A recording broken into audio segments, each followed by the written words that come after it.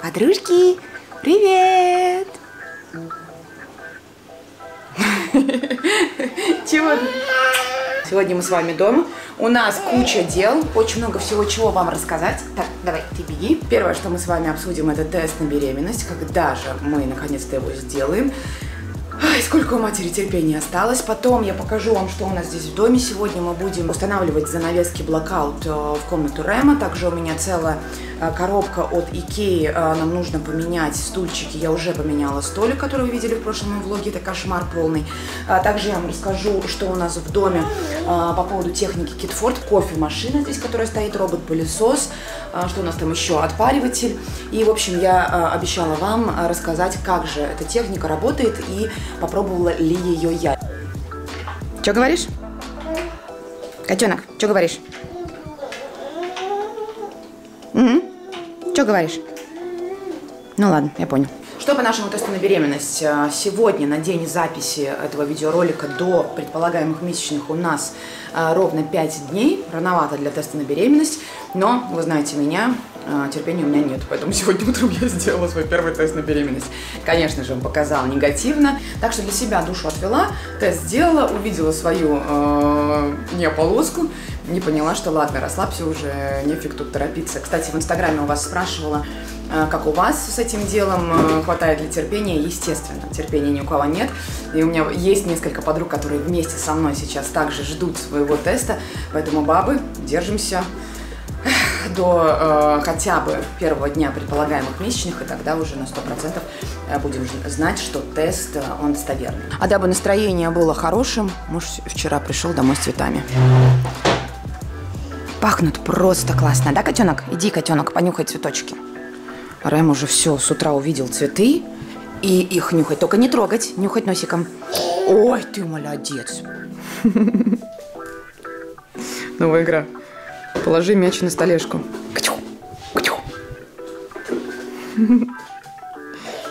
Ну, давай.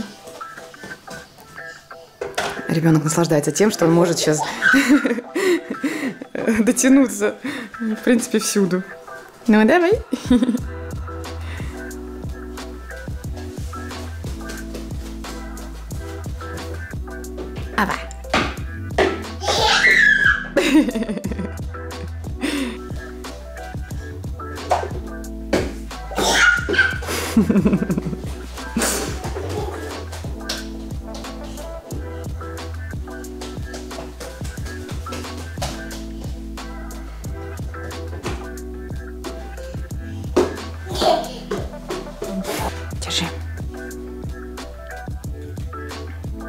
Человека странная манера э, поедания ягодок. Она и кладет обратно.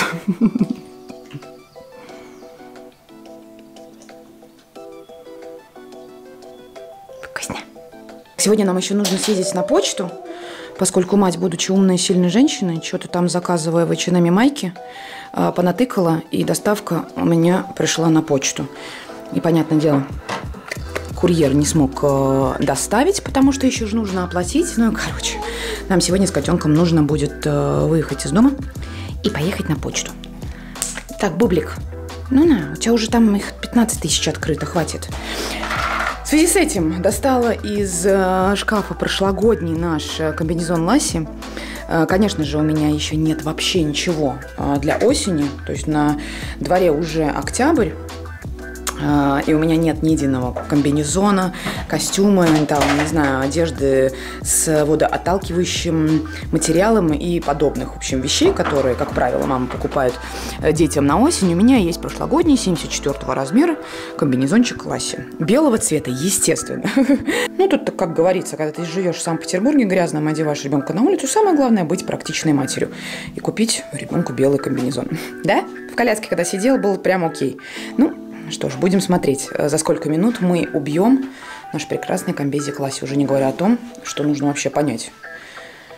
А не мало ли он ему. Да, котенок? Так что будет весело. Да? У нас тут домик.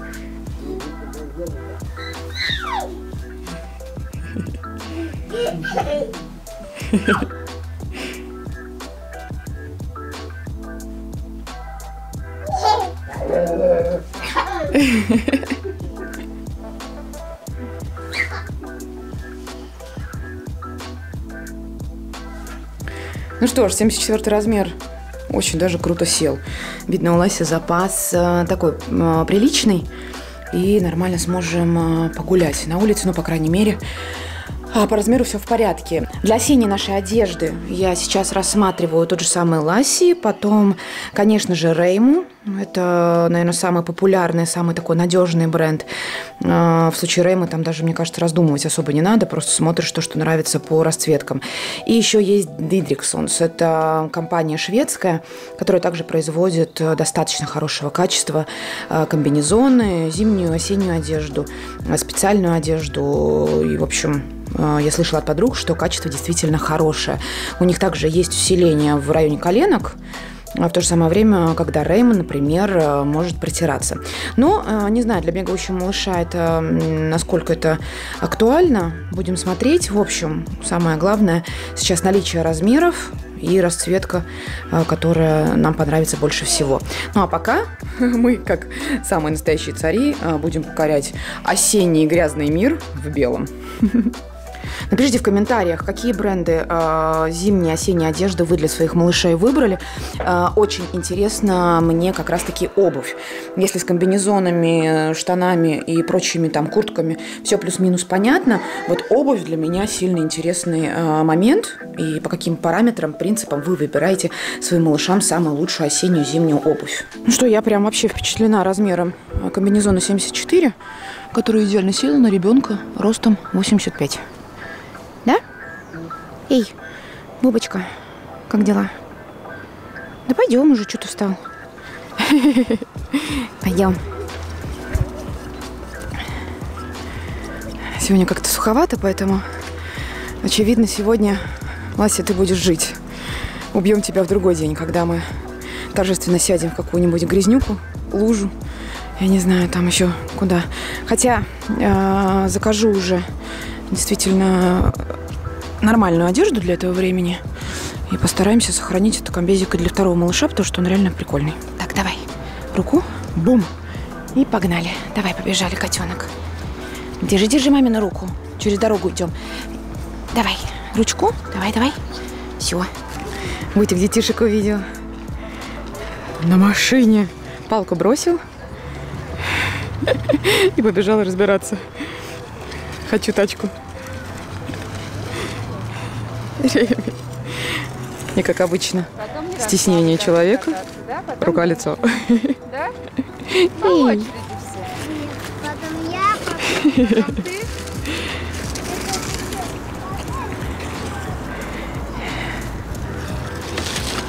Он такой очень обособленный, на самом деле. Со сторонки всегда все наблюдает, как-то так интеллигентно и спокойно.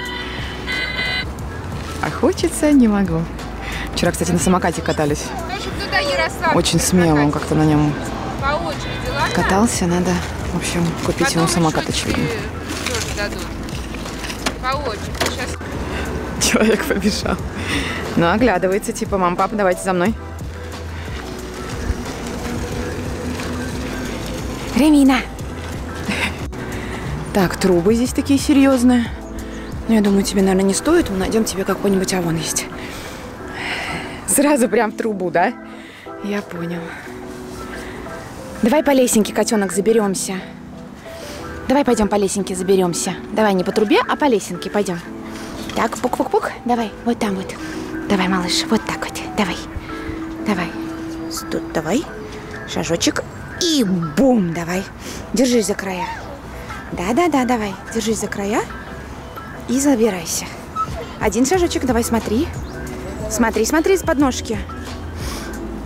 Подножки, подножки, смотри. Подножки, подножки, смотри. Опа, вот так вот, молодец, давай. Так, тут у нас опасный ход. Так, туда нет, сюда нет, давай, пойдем вот сюда. Арсик, лови его. Так, давай, забираемся на горку. Тут такая прям гора, гора, гора, гора. И у нас... Давай, садись. Садись, давай, садись. И погнали! Вжух! Человек скатился. Класс!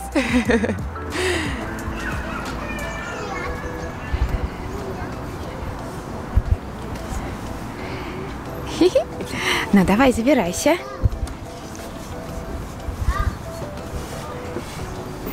Сюда, котенок. Сюда, сюда, сюда, сюда, сюда, малыш. Давай. Так, давай помогу. Вжух. Оба! Так, ну давай. И давай.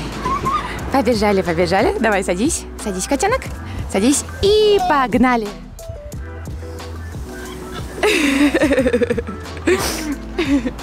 Радости-то сколько. Кто у нас тут водитель автобуса?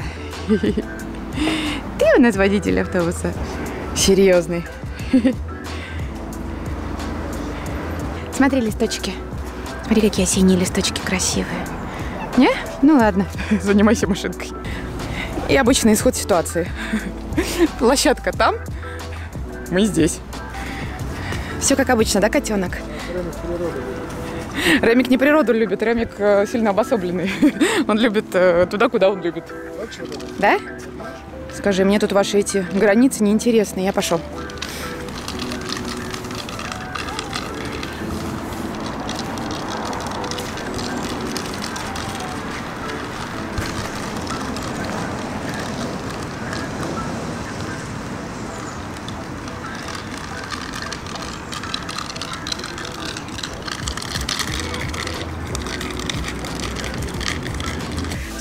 Вжух-вжух! Смотри, какие листочки! Осень! Смотри, какие цветные, красивые. Ух, желтенькие. Класс! Красиво как.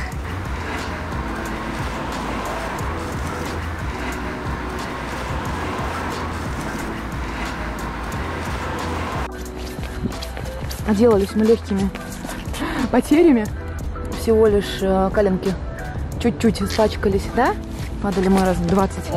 По горкам катались. Короче, комбинезон жив, нормально. Отстираем, все будет хорошо, да? Че в траве давай свежий. Так, ладно, котенок, давай, нам пора уже с тобой домой. Нам нужно спатушки и дела дальше делать. Да? Ну вот, такие вот майки из. Заказала их э, подороже премиум коллекцию, э, льняные майки. Они по цене, конечно же, дороже, чем стандартные, но в то же самое время э, по качеству ткани, по ощущению на коже и по уходу они намного более качественные, хорошие. В общем, такие майки у меня уже были, белые.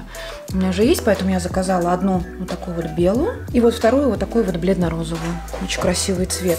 Э, розовый я взяла S размер и белый M размер.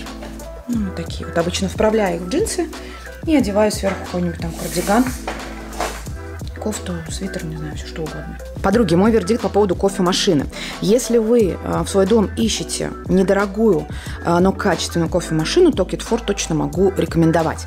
Э, гурманам кофе, которые любят самого-самого высокого качества кофе, конечно же, нужно рассчитывать на то, что ваша кофемашина обойдется минимум 50, а того и 100 тысяч рублей. Уже не говоря о том, что кофе нужно будет приобретать только в специализированных магазинах и только самого-самого высокого качества. В свою очередь, если мы говорим о таком среднем, высоком среднем уровне домашнего кофе, то вот эта машина Kitford, она прям отличная. А, что у нас здесь имеется? Значит, у нас здесь есть а, контейнер воды до 12 чашек и а, набор функций, которые в этой машине можно использовать. Для меня непривычно было, что если я наливаю в контейнер полный объем воды, то здесь нужно рассчитывать на то, что машина прольет весь объем воды, несмотря на то, что, например, на дисплее я выставила, ну, например, там 4 чаши. Конечно же, я привыкла к тому, что в машинках ты э, там в 2-3 дня наливаешь полный объем воды и просто пользуешься э, этой машиной, пока э, вода не закончится, поскольку машина обычно проливает ровно то количество воды, которое ты выставляешь э, в дисплее. Но в этом случае нужно э, помнить о том, что вода прольется вся, и каждый раз, когда я готовлю кофе, я наливаю воду заново ровно то количество чашек, которое мне нужно. Потом здесь, значит, как я уже сказала, на дисплее можно выставлять дополнительно э, количество чашек. Э, дальше можно включать или выключать помол. То есть в этой машине можно использовать не только зерна, но уже молотое кофе. А потом есть отсрочка старта для программирования времени э, начала работы. Можно установить крепость от самой э, слабой до самой крепкой и также еще регулировать помол от самого мелкого до самого крупного. Ну и потом здесь есть также часы, которые можно выставить. А, что для себя я нашла? Значит, для меня самое-самое идеальное соотношение здесь. Количество воды, значит, я наливаю 4 чаши. А, здесь на дисплее я выставляю 12 крепость самую э, высокую и помол близко к э, самому мелкому. А, почему? Просто потому, что вот такое вот соотношение количества воды, чашек, крепости и помола для меня самое идеальное, чтобы в результате получился тот кофе, который мне нравится. В этой машине я чаще всего использую лаваться Ора либо лаваться эспрессо. Приобретая эту машину, конечно же, нужно будет в первый раз тоже попробовать поэкспериментировать. После приготовления в течение еще 35 минут кофемашина подогревает э, чайник и кофе остается э, ароматным и горячим э, продолжительное время. В нашем доме мы планируем впредь пользоваться именно этой кофемашиной, так что Китфорд, спасибо большое. И, подруги, могу вам рекомендовать эту машину для хорошего, качественного домашнего кофе. Так, добавляем молоко, и мать счастлива. Так, ладно, пойдем, покажу, что у нас тут еще. Так, наша коробка из Икеи. Вот эту мы тоже берем э, в комнату. Пойдем, котенок. Коробка из Икеи. Мы с тобой будем ее распаковывать. Давай, давай, давай, давай, давай. Иди сюда, бубуш. Так, и не рассказала про еще э, робот-пылесос Китфорд. Вот, эта штука чаще всего про него вы меня спрашиваете. Робот просто крутой. Да, я знаю, что это off-ground. Чувствует все, работает отлично.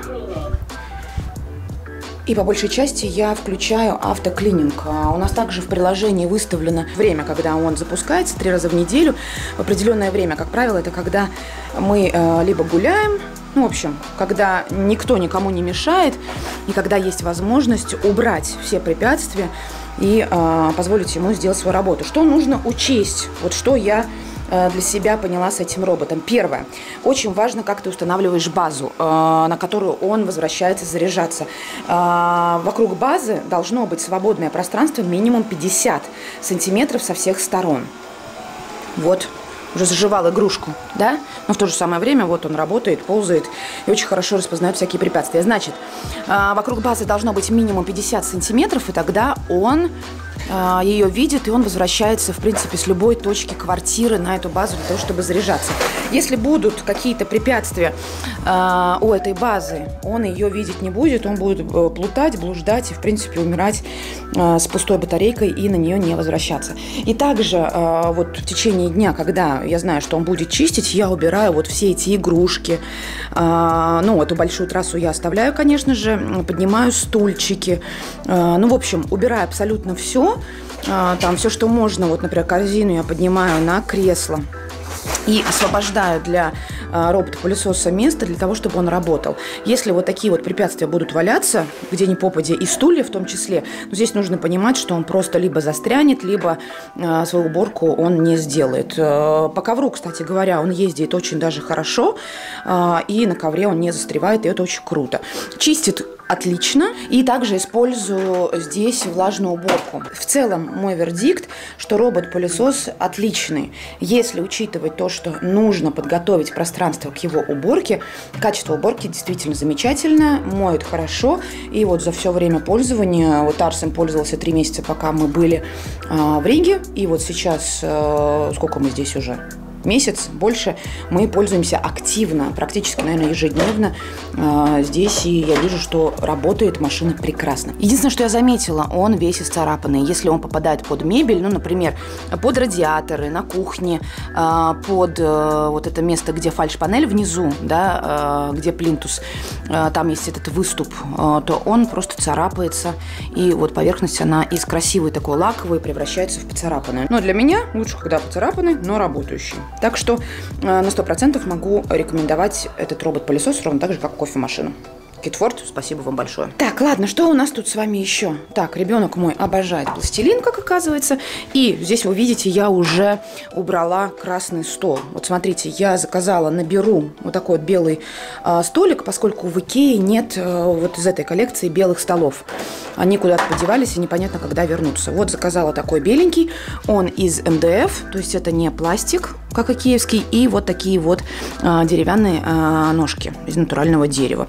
Ну, смотрится, на мой взгляд, намного лучше. Кстати, вот, я постелила ему а, матики Манчкин, которые, как оказывается, очень круто а, работают не только для обедов, но и также для а, игр малыша, чтобы он не царапал, не пачкал а, свой стол. Ну, садись, садись на стул приобретение этого стола и пластилина это самое лучшее, мне кажется, что я сделала за последнюю неделю.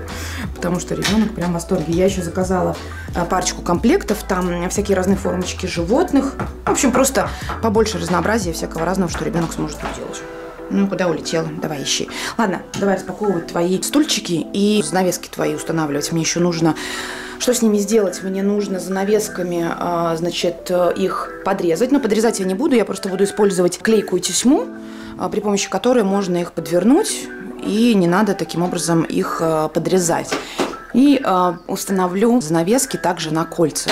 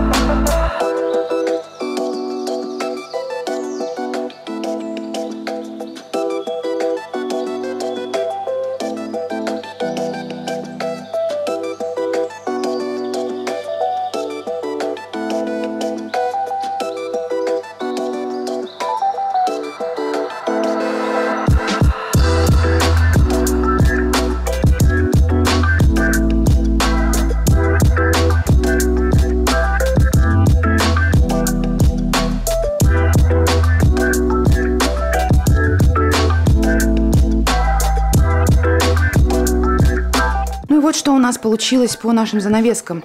Э, на карнизы я добавила сюда кольца, просто чтобы все это дело э, легче э, продвигалось туда-обратно. Внешне, конечно, мне нравится меньше, чем когда сразу занавеска цепляется за карниз, но это все дело будет легче передвигаться, поскольку карнизы Икеи, вот у них есть здесь вот такое вот место крепления – когда вы адаптируете длину самого карниза, и там ни кольцо, ни вот эти э, из ниточек э, петли, которые на самой занавеске, они не проходят спокойно через это место. Вот видите, уже штуковина оторвалась.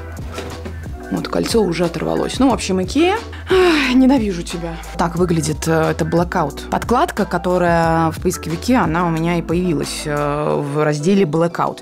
Но нифига это не Blackout. Сами видите, какой это Blackout. Ладно, посмотрю, как ребенок будет спать. Я уверена, что все будет хорошо, поскольку он у меня уже сильно в режиме, сильно уже привык. И, в принципе, чуть-чуть более светлая комната в течение дня или дневного сна, я думаю, что э, большой проблемы не составит. Ну и вот такая вот зона у нас получилась за стульчиками столиком. Три стульчика, кстати говоря, сейчас я заказала, потому что у нас еще два дружка есть. И они к нам э, сейчас зимой, э, предполагаю, все чаще будут приезжать в гости. И чтобы они втроем все могли сидеть за столиком, в общем, нам нужно три стульчика. Ну, а ты, друг мой, как у тебя тут дела? Пока мама складывала стульчик, друг сидел и спокойно себе листал свои книжечки. Ладно, подруги, на сегодня буду с вами прощаться. Пишите в комментариях, как ваши будни проходят, осенние, со всеми нашими дождями, сыростью, и как вы развлекаете малышей дома, но помимо, конечно же, прогулок. Сегодня с вами прощаюсь, желаю доброго дня.